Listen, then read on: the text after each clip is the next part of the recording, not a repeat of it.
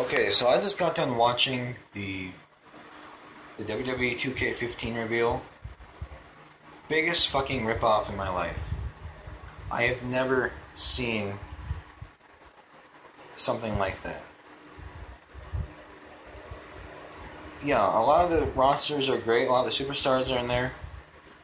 But for fuck's sake, put some people in there that we haven't seen. I mean, Stone Cold, The Rock, and Sting and Hulk Hogan are pretty good.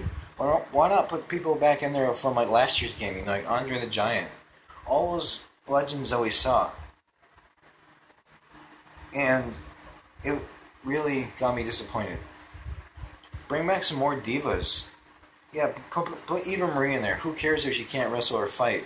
I mean, if Paige is going to be a downloadable content, yeah, that's fine. But fuck's sakes, put in some some legendary divas. You know, put Trish Stratus back in there. Put Lita, Stephanie McMahon, even some of the old divas. I don't care, like Kelly Kelly, Candice Michelle, Torrie Wilson, all those, all all those divas. Biggest fucking ripoff I've ever seen. To the showcase, you know, the showcase. Of the two of them so far. Hopefully, there's more. Is Shawn Michaels and Triple H, and John Cena and CM Punk. Those are good. But if they don't add more, that's gonna be one of the biggest fucking rip-offs of all time. I would like to see matches in there of Austin and The Rock, WrestleMania 15, 17, or 19. Undertaker and Kane, WrestleMania 14 or 20.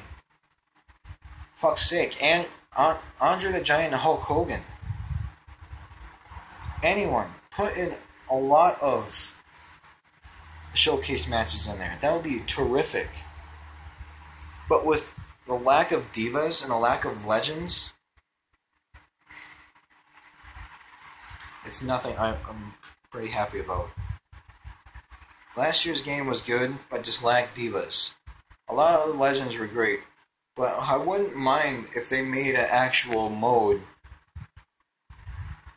Undertaker WrestleMania mode, where you would have gone through all of Undertaker's personas and fought each victim at WrestleMania until losing to Brock Lesnar this past year, which I think was a huge fucking disappointment too.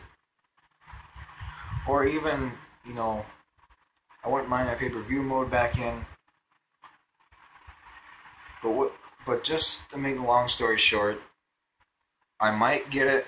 You know, looking at how how you know the, the characters I like to see in it. But for fuck's sake, lacks a lot of superstars, lacks divas and legends. I'm gonna get it, try it out, see what it's like. If the downloadable content comes back later, you know, with a lot of cooler looking more more divas, you know, and stuff like that, I'll be impressed. But right now, I'm still on the verge of getting it. I will I will buy it eventually. But 2K15 so far, in my opinion, is probably a 5 out of 10.